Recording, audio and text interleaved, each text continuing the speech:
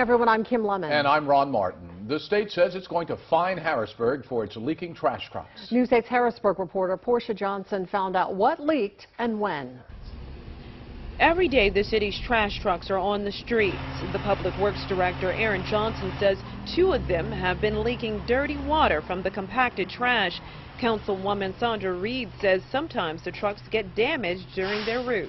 Um, I know that one truck, when they picked up a dumpster, actually, when they went to dump the dumpster, it actually punched a hole in, in the bed of the truck. So sometimes, you know, periodically this, these things happen. The Department of Environmental Protection says during an inspection it discovered two leaking trucks.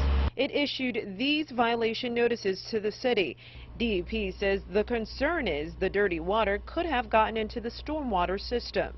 It probably was leaking along the streets, but they're getting them repaired. The Public Works Director told News 8, quote, I'm not 100% sure if that happened or not. It concerns me big time. He goes on to say, when we don't have the resources to do these things, it's frustrating. We have an aging infrastructure. We have an aging fleet. And we understand that, and our Senate, our Public Works Director is working very hard at making sure that the repairs are made in a timely fashion to the vehicles. The Public Works Director says thanks to Grayville Equipment and Repair, the city was able to get the trucks fixed now and pay for it later.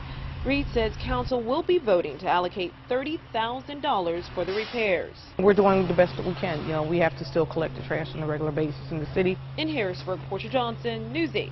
Tonight at 6.30, City Council is voting to allocate money for the trash truck repairs. The DEP says it has notified the city of the amount of the fine, but it has not yet notified them of the fine, but it should do so in the next week or two.